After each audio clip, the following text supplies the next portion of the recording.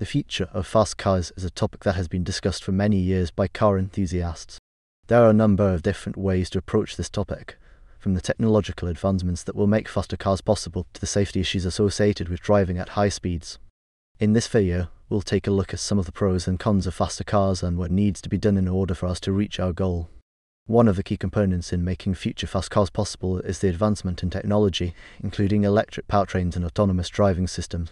Electric powertrains are becoming more efficient as manufacturers continue to develop new technologies that allow battery powered vehicles to travel farther and when charged, while also providing more power than traditional gas powered engines.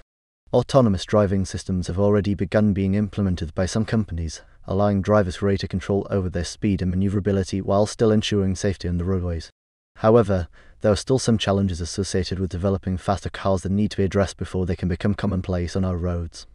One major concern is safety. When travelling at higher speeds, it's important that drivers remain aware of their surroundings so they can react quickly if faced with any unexpected hazards or obstacles on the road ahead. Furthermore, stricter regulations may need to be put into place in order for these vehicles to operate safely without putting other drivers or pedestrians at risk due to excessive speed or recklessness behind the wheel. In addition, there will also need to be advances made in infrastructure so roads can handle these higher speeds without compromising driver safety or vehicle performance levels due to poor road conditions such as potholes or other obstacles along their path. This could include increased investment in resurfacing roads, as well as investing resources into creating dedicated lanes designed specifically for faster vehicles so they don't impede regular traffic flow while still allowing them access when needed. Finally, there will also need changes made within our own mindsets towards speed limits and how we view fast cars overall if we want them to become part of everyday life instead being viewed as something reserved strictly for racetracks and showrooms only seen once in a blue moon by most people out there today who have never even driven one themselves before now.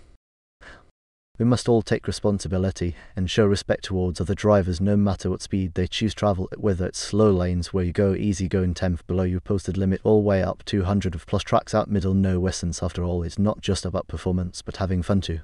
So let's keep an open mind towards embracing new technology like electric powertrained autonomous driving systems instead fearing them because different doesn't necessarily mean dangerous every time like many often think it does. Overall, the future potential for fast cars looks very promising, but requires continued investment from both industry leaders and consumers alike if we want to see it come fruition.